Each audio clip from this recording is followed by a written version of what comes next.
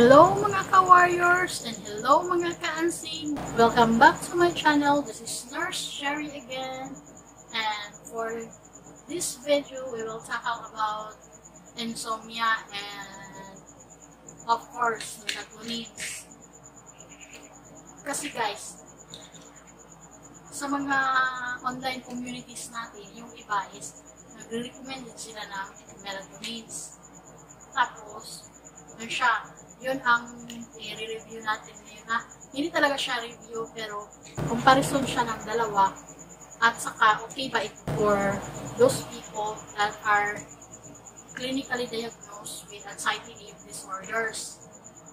Okay ba sila o yung mga taong may malala na, na anxiety. So, let's start guys. Ang first na nabili ko guys is the Piping Rock Melatonin. I bought this from Beauty M&L. Tinry ko na agad guys.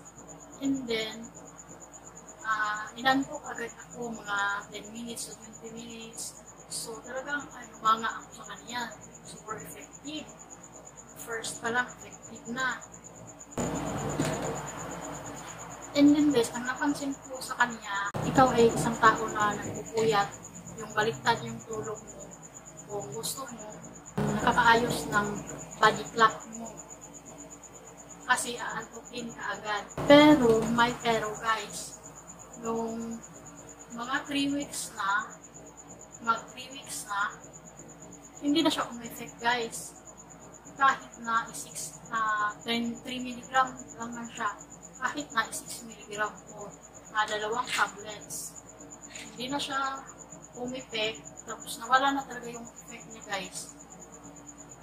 Tapos, dito siya, guys. So, I was trying to find ways, guys, ba na para hindi ako makapunta sa psychiatrist at maristahan na naman ako ng gamot na synthetic. So, uh, nag-try ako ng mga supplements.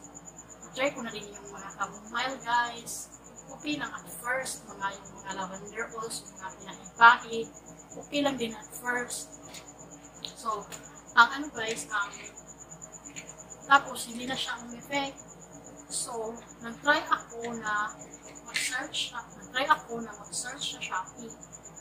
And then, nakita ko to guys na sobrang daming reviews and sobrang daming sold items.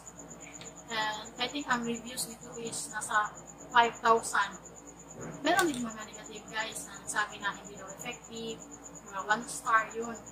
So, nag-try ako, why not, di ba? Nung ininom ko na siya, guys, effective naman siya, guys. Pero, 5 to 6 hours lang yung tulog ko. Effective siya in a sense na nakaka-deep sleep talaga. Tapos, naaantukin uh, ka din. Kaso nga lang, 5 to 6 hours ang katawan ko para siyang may alarm clock guys pag nakainom ko ito. For example guys, matulog ako ng 5 a.m. Kusang gigising yung utak ko ng 6 a.m. or 5 a.m. Which is, hindi ko matiis guys kasi ayaw ko nung matulog na uh, ako yung isang tao na hindi na content ko ng 5 to 6 hours kasi para akong lutang na drogi. Nakaka-drogi din siya guys. Para kang ha? Nasaan ako? Nasa mundo ba ako pag mag-missing ka? Nasa mundo ko ba ako?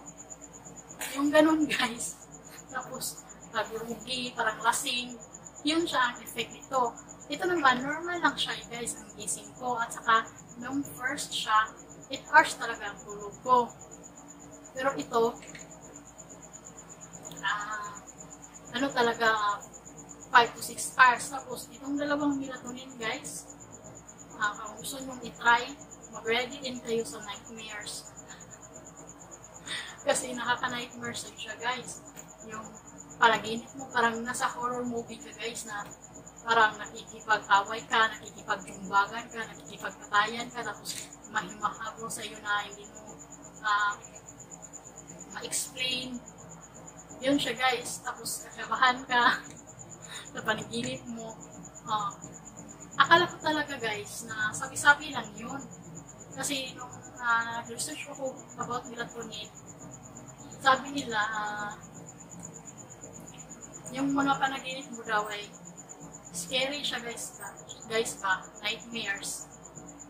So, totoo pala talaga yun. And then, ang isa ko pang napansin dito guys, ah, for example, kung uminom ka nito, once na ma-feel mo na na inaanto ka na, tulog ka na diretso at ipikit mo na yung mata mo. Kasi, once na nakadilat pa yung mata mo, hindi ka na makatulog buong magdamag. Ikaw ay mainsomnia kung lalawanan mo ang tulog mo. Kaya, dapat din na mag-create ka ng ah, time schedule for sleeping ba siya guys. For example, gusto mong matulog ng 10 p.m. And then, pagka ano guys, ah, 9.30 or dapat iti-take mo na siya. And then, yung napansin ko din dito guys is imbis na makatulog ako guys ah, after 3 months, imbis na makatulog ako guys after 3 months, ang nangyari sa akin is nagka-insomnia ako. nagka-insomnia ako. Tapos, may mga times na 24 hours ako na nilat. Walang tulog guys. Tapos, energetic pa rin ako. At, ang, ah, ano guys, disadvantage, hindi ako nakakatulog kahit na umaga. Yun siya. Yun ang effect sa akin. Nung nag-research ako guys, bakit na melatonin nga siya eh. Tapos ma-insomnia ako. So, nung nag-research ako dun sa, ano, sa Google, Google naman ako, doon ko nalaman na yung mga melatonin supplements pala, meron silang rebound effects na hindi ka makakatulog, magkaka-insomnia ka din. So, yung ah, na-feel ko na hindi ako makatulog ng 24 hours, may mga times, yun yun siya yung rebound effects sa ano uh, melatonin. I didn't intend to give a negative review. These are all just based on my own experience and I think iba-iba naman tayo mga tao. Ako kasi guys, and disclaimer lang, I have been suffering from generalized anxiety disorder. Pag may sakit ka na ganyan guys, uh, apektado talaga ang tulog mo. So, my conclusion is, if you have disorder like mine, hindi ito will affect sa iyo guys. Pero kung ikaw yung tao na stress lang, may occasional insomnia lang, kasi noong dati, nung hindi pa ako na-diagnose ng JED, may mga times talaga once in a blue moon, once a month na may insomnia ako, pero one night lang. So siguro ito ay pwede sa mga ganun na cases ng mga ah, tao. Kung gusto lang nila na makatulog sila, pero kung sabihin mo guys na gagawin mo siyang sleeping pills, it's not kasi supplement lang siya guys. At nasabi din doon na dapat for ah, dapat one month mo lang siyang gagamitin. May na-research ako guys. Kasi nga, ah, kahit nagagamitin mo pa siya, kahit dalawa na yung ininom ko, 20 mg, hindi pa din ako makatulog. Meaning, hindi siya effective sa mga may mental disorders. Lalo na yung mga malala na guys. Kahit kayo ay hindi na diagnose, tapos talaga tayong makatulog. Ang claim kasi dito guys is, meron siyang claim. Melatonin is a nighttime sleep aid for occasional sleeplessness. So, it means, uh, doon lang sa mga tao na minsan hindi sila nakakatulog, kasi siguro may mga stress sila na pinagdadaanan. Pero yung kung sino sa case ko na na-diagnose ng GED at may health anxiety pa talaga, hindi siya pwede guys.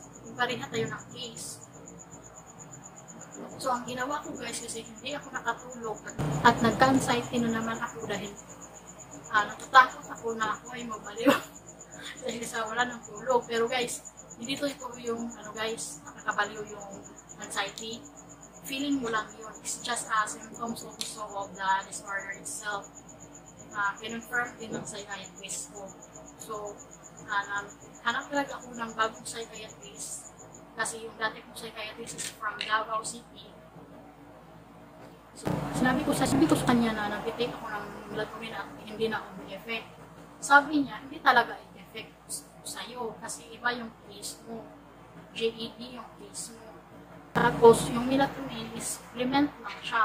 So, yun siya guys. Niresetahan ako ng ah, para talaga sa mental disorder guys, para uh, pampa-induce ng sleep, pampakalma siya guys kung meron kang panic at anxiety attacks.